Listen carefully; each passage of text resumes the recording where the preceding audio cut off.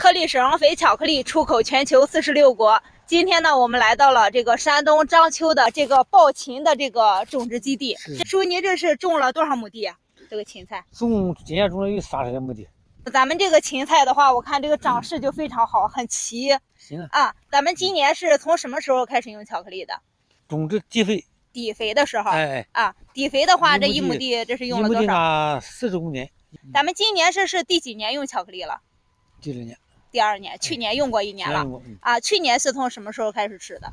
去年从秋后到今年春天都用。去年的这个时候啊，冲湿的时候用的。冲湿的话，咱们是按什么量来用的？就按的三十公斤左右。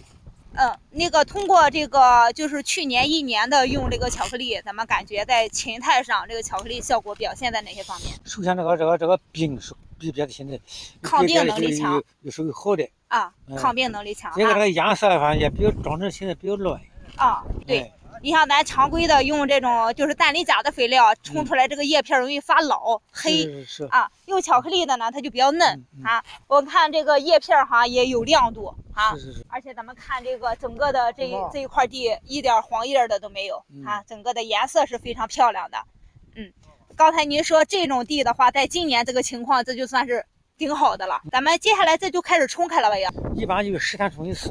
行，嗯，这个连续冲的话，一个是呢，对咱们这个土壤的调理非常好，促进生根；再一个呢，它就是比较嫩，长出来这个芹菜还压成。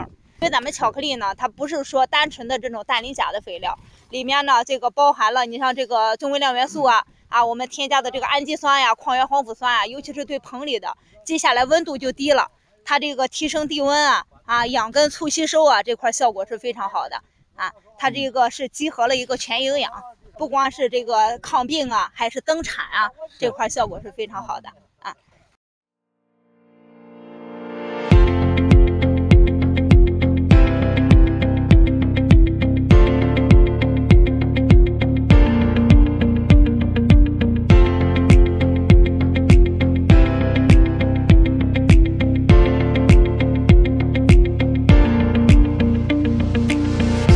国的巧克力，世界的 COCO 力。